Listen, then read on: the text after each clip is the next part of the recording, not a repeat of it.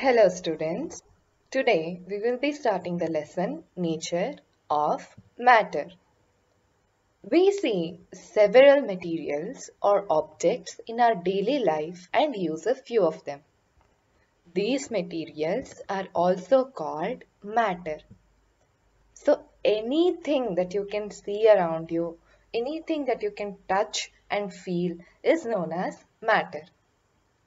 These materials are not just like one another. You can see a lot of different things around you, right? So, supposing you're sitting on your bench, you might be able to find a book, a pen, pencil, water bottle and other things around you. So, are these objects like one another? A book does not look like a pen. The way you hold a book is different from how you hold a pen. So, these things are not like one another. But if you observe keenly, keenly means in detail. If you observe in detail, the characteristics of some materials will appear similar. Some of these materials may have similar characteristics.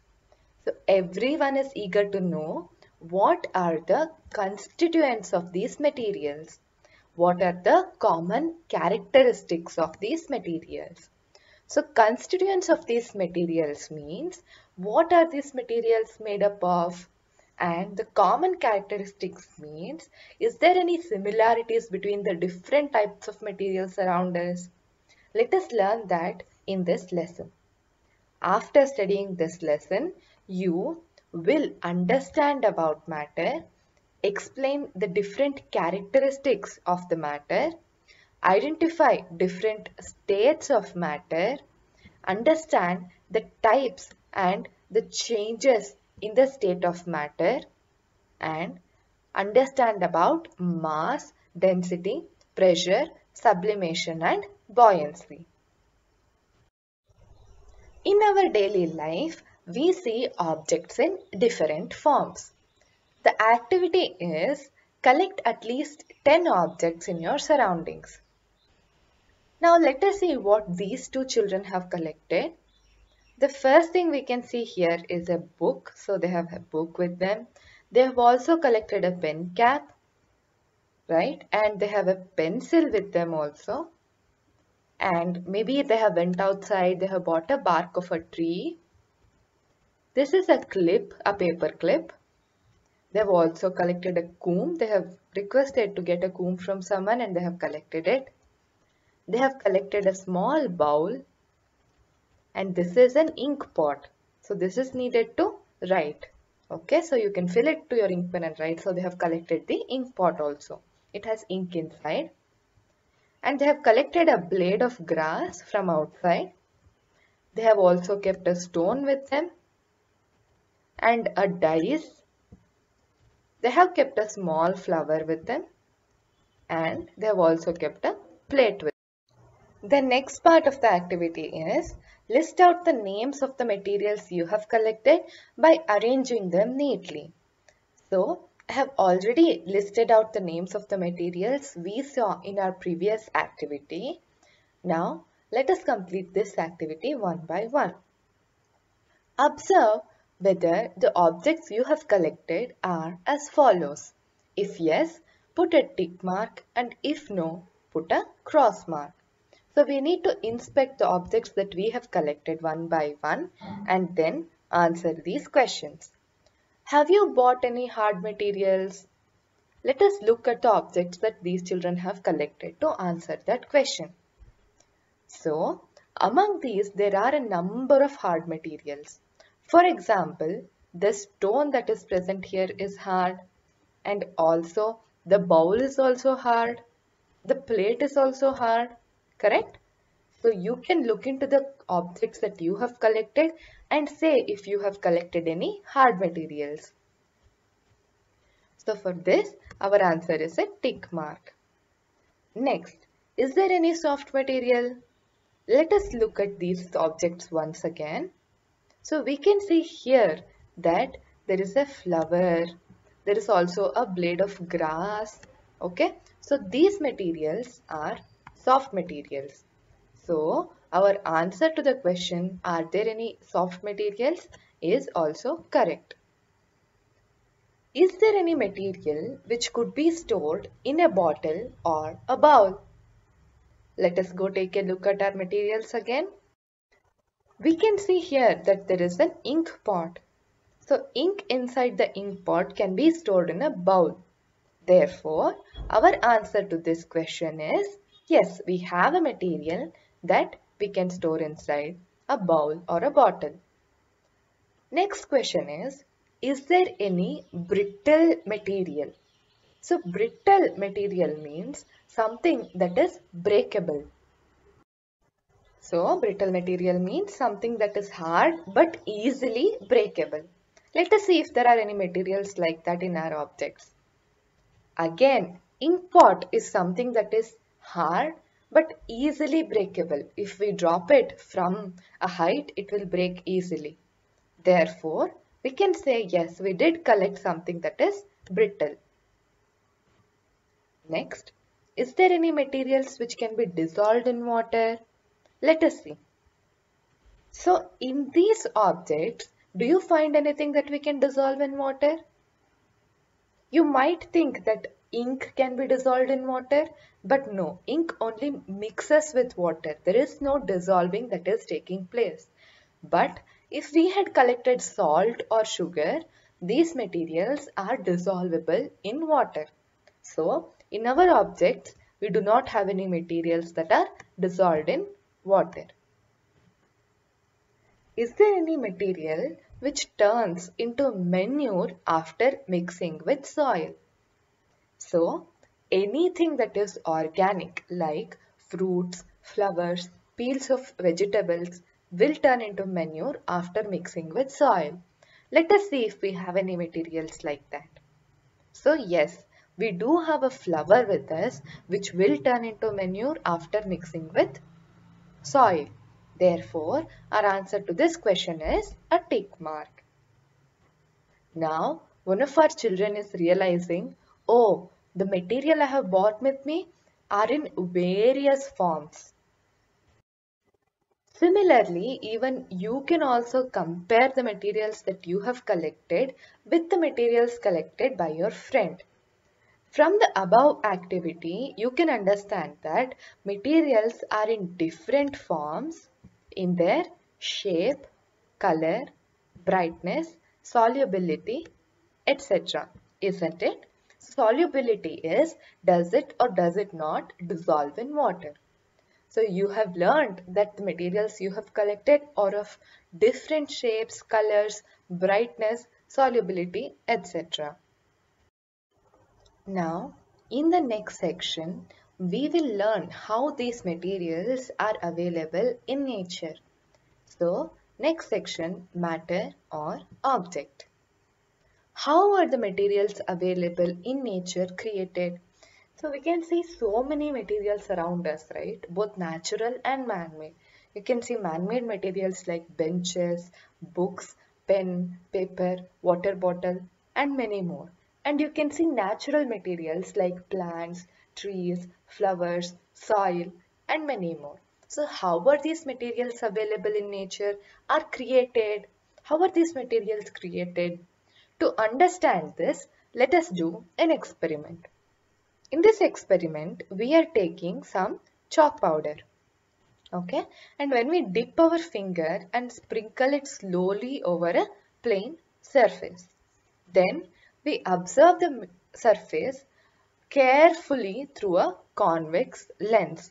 Using a convex lens, we can have a magnifying effect where we can observe small particles bigger. Okay.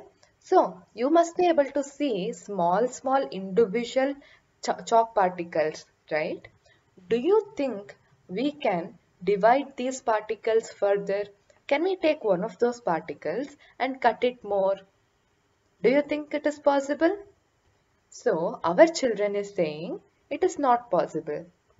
Is it not possible for us to divide them further? So we can observe that although we try with our own hands, it is not possible to divide it further. So it is not possible for us with our hands to divide that chalk particle further. Scientifically, materials are called as matter. Okay, and matter is made up of small particles. The smallest piece of matter is called as particle. Okay students, so although the chalk particle is not able to be divided by you, that doesn't mean it's the single particle. It is made up of many, many, many smaller particles which we cannot see with our naked eyes. We will learn more about them in our future classes. For the next activity, think. Read the instances given below and try to remember if you have experienced any. How did fragrant particles reach your nose from the open scent bottle? So, whenever you open a scent bottle or a cream bottle, you would smell a very nice smell coming from it, right? How did those particles of the scent come from the scent bottle to your nose? The next question is, how does your nose feel that the neighboring room is being swept? So if you're sitting in your classroom and there is a neighboring room that is being cleaned and there's a lot of dust particles coming from there, you would start sneezing and coughing, correct? So how did those dust particles come from there to your room? Next, did you notice any collection of dark particles when firewood is burnt or kerosene lamp is lit? So, if you have observed in your houses, wherever you keep lamps, if you see the roof, you would notice some small dark particles on the roof. Also, when you look carefully at the area when firewood is burnt, you will notice the collection of dark particles. What happened to the firewood or the oil? Where did these dark particles come from? In this lesson, we are going to answer all of these questions. Particles present in matter are invisible. So like we learned, although we were able to see small particles of chalk, in that particle, many, many more invisibly small particles are present. Matter is made up of very minute particles. Minute means very small. Hence, visible matter consists of invisible particles. Now it is time for a quiz. The question is, you have to say if it is true or false. Matter is made up of particles which cannot be seen by our eyes. If you need time to think, you can pause the video. The answer is true. Matter is made up of particles which cannot be seen by our eyes. They are invisible to our eyes we can see them with the help of very powerful equipments like microscopes. I will show you a depiction of what atoms or particles in matters would look like. So, this is an example. Next, the question is, what do you mean by matter? So we have just learned this and I have added the answer for you. Scientifically, materials are called matter. Okay, materials are called as matter. And visible matter is made up of invisible particles. So these are the two things that we learnt about matter. For the next activity, they have asked us take a material and divide it into minute pieces. Okay, write the name of the matter which you have divided into minute pieces. So, like we already learned, when we divide something into minute pieces, we can call it as particles of that matter. So, supposing you have divided a piece of paper, then they would be called as particles of paper.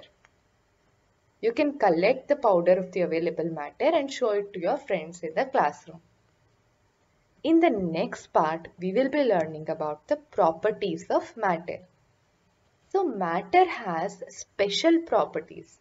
These properties can be understood with the help of some experiments and activities. So let us start with these experiments. The first property of matter is matter occupies space. If you see the matter around you, supposing you have kept a pen on your table, then if you want to keep another pencil or another pen on the exact same location, you won't be able to do it. You will be able to either keep it on top of that pen or you have to move the pen on the table and then keep it in the same position. This is because the pen on your table is occupying its own space. Now, let us look at the activity to understand this property more. The activity is pour the wheat flour or any other flour into the bowl. From a box, you have to pour wheat flour or any flour into a bowl. Again, try to fill the bowl so that the flour does not spill. So, if you can see here, what is happening is this bowl is already filled with the flour. Next, you're trying to add more flour to the same bowl. It is not possible to add more flour to the same bowl, correct? Because it will overspill. Let us answer these questions one by one. Was it possible? We can see that it was not possible because once the bowl is full, the flour will overspill. Right? And did you completely fill the bowl? Yes, if we pour it from the box carefully, we will be able to completely fill the bowl. What should be done to pour some more flour into the bowl? Why? So if you want to use the bowl again, you have to transfer the flour that is already there in the bowl to some other container and then use the bowl to pour some more flour. Why is that so?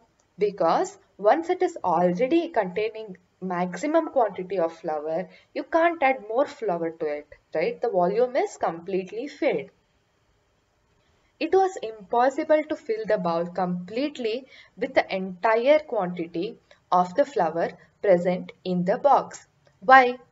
So they are asking us, why can we not transfer everything in the box to the bowl? If the box is big and contains more flour and the bowl is small and cannot hold that quantity of flour, we cannot transfer it completely to the bowl because the volume that is occupied by the flour in the box is more than the volume of the bowl. So even the wheat flour needs space to go, right? Even we need some place to sit down. Just like that, wheat flour also needs some place to go. If it is already occupied by other wheat flour, this wheat flour will not be able to go into the same place. This is because wheat flour needs space. Because wheat flour occupies space. Okay. So I have given a brief answer to that question. More flour is present in the box and wheat flour needs space. For the next activity, the experiment is put a glass beaker completely filled with water on a plate. Slowly immerse a stone of appropriate size tied with a thread into the beaker as shown in the picture. So, what they have done is they have taken a beaker, they have full, filled it completely with water. So it is completely filled with water till here. And then they have put it on a plate. They put it on a plate to avoid water overspilling and wetting the table. Right. And then they have taken a stone that is tied to a thread. When you slowly immerse the stone into the beaker like I have shown here, what happens? First, you can observe that water is spilling out from the beaker. What happened when the stone is immersed into the beaker? So, as and when you slowly immerse the stone, water will start spilling out. Why did the water spill out? One of our children is asking. So, think about this. We have learned that matter needs its own space, correct? But when the glass was completely filled with water, there is no more space left for the stone. When you are immersing the stone, something needs to make space for the stone. So what is happening is that much water is flowing out to make space for that stone. From this activity, we can learn that matter occupies space. So this is the first property of matter that we are learning. It is that matter occupies space. A matter cannot occupy the place of another at the same time. So two things cannot occupy the same space at the same time. That is why water spilled out to make space for the stone. Now, write the names of some matter around you. This is an activity that you can do on your own.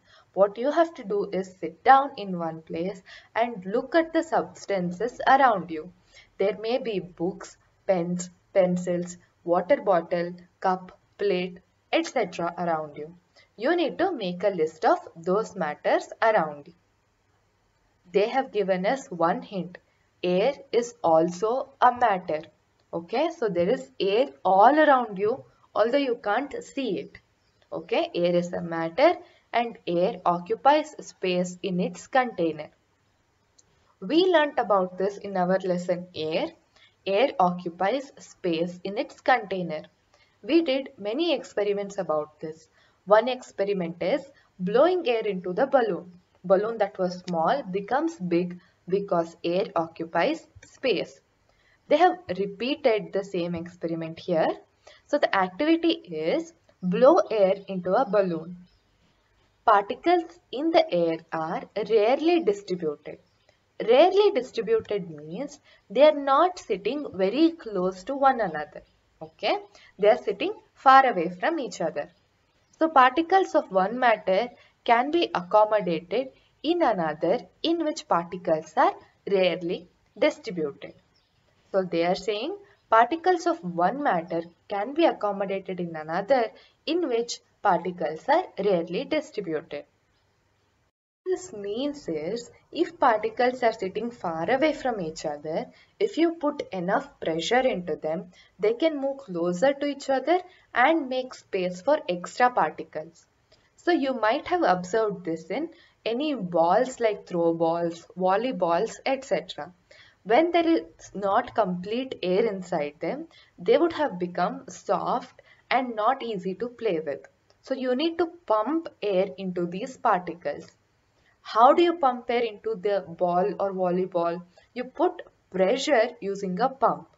Air was already present in the balls, but when you put in more air, they just become more compactly distributed and become high pressure particles. What is happening in this type of compression through this animation? So if you can see the air particles in the initial state that is right now they are far away from each other. But after being compressed you can see that they are moving closer to each other to make space for other matter. So in case of rare distribution, rarely distributed means particles are far away from each other. They can be pushed closer together to make space for other matter. For the next activity, add some sugar or salt into a beaker fully filled with water without allowing the water to spill out. How is it possible? Discuss with your teacher. So, when you add some salt or sugar into a beaker filled with water, you can observe that if you do it carefully, the water does not spill out. So does this mean that the salt or sugar does not require space? No, Salt or sugar also requires its own space. But when salt or sugar mixes with water, it is a soluble substance, therefore it dissolves in water. When a substance dissolves in water, the chemical composition of the water changes and the particles of the salt or sugar forms close bonds with water. So, when salt or sugar is added into the water, there is bonding between the particles of salt or sugar and the water particles. When this happens, they occupy space more closely with each other. This is why the water does not spill out. The next activity is think. What happens when the tube of a vehicle, what happens to the tube of a vehicle when it is filled with excess air? Why? So, if you have seen air being pumped into the tires of cycles, they stop it after the tires become hard. If you keep on pumping, then what happens? Then the tire would explode with air. So what happens is the tire would burst open and it will get teared. This is because the volume of air inside the tire can occupy only that much space. If you keep on pumping or forcing air in, that air needs some space. In order to find that space, it will create a tear in the tire and it will come out. Okay, so that is what happens when you fill it with excess air. So, we learned that matter is made up of various visible and invisible particles. So, the matter that we see is visible and it is made up of many particles that we might be able to see with our naked eye. But each of those particles is further made up of smaller invisible particles. The next property is matter has mass.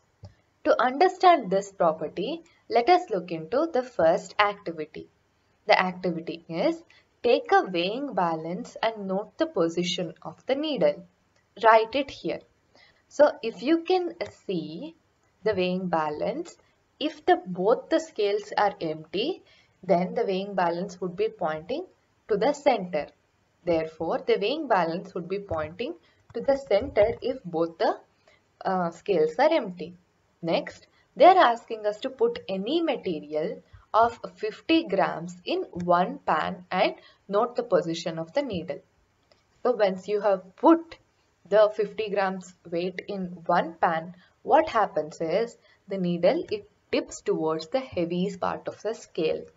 Therefore, the needle is not pointing towards the center anymore, it is pointing towards the heavy scale. Why does this happen? This is because you have put in weight on one side. Okay, the weighing scale is designed to go down when there is heavier scale in one side. That is why the needle moves towards the heavier side. Weigh different materials you have and those which are available in your classroom with your friends. So you can take weight of different materials that are present around you. And the next activity is think. Is there any matter without weight? You might be able to think of some materials which are very light. So if you hold on a chalk piece in your hand, it is so light that it does not seem that it has any weight. But if you hold on to many chalk pieces or a box of chalk pieces in your hand, you will find out that it is heavy. This weight comes from each individual chalk piece, correct? So everything that is matter has its own weight, even air. You might think it is very light, but still all matter has weight. Next, place a matter in a pan of the balance. So a matter is anything, any particle around you. You just have to place it in one of the pans of the balance and observe. What happens? It goes down. Like we saw in our experiment, it goes down because it has weight. Is it possible to keep both the pans equal? If not, why? So once you have placed some weight in one of the pans, it is not possible to keep both of them equal because one plate would be heavier. That is why it will go down automatically. Hence, it is not possible to keep both the pans equal if only one of them has some matter you a small image of the weighing clip where we can see the needle clearly. So you can see when you're putting weight on one side it is going down and then it is coming back to normal once the weights are removed. Okay. So that is the needle that you can see. Activity is Try to lift a bag with 3 kg rice and another same type of empty bag. Write your experience here. So I will leave this activity to you. You can lift your school bag which is empty and then you can fill it with your books and lift the same bag again. you will find out that when it is filled with substances, the bag is heavier and it is more difficult for you to lift. So this is because matter has mass. Okay. Next, matter is the total sum of many particles. It has mass. Matter is made up of small particles. We already learned this that matter is made up of small particles. Total number of particles in a matter depend upon its weight. So if it is heavier, it has more and if it is lighter, it has less. The materials which occupy space and possesses mass is called matter. Therefore, matter is anything that occupies space and has mass. So when you can see all the objects around you become matter. Now it is time for a quiz. The question is, what are the two properties of matter? We just learned this. The answer is first, matter occupies space and second, matter has mass. So these are the two properties of matter. You can write the same in the activity that is given here. What are the properties of matter? Right here. The first one is matter occupies space and second one is matter has mass. Okay students, this is the end of part 1 of the lesson Nature of Matter. I will see you all in part 2.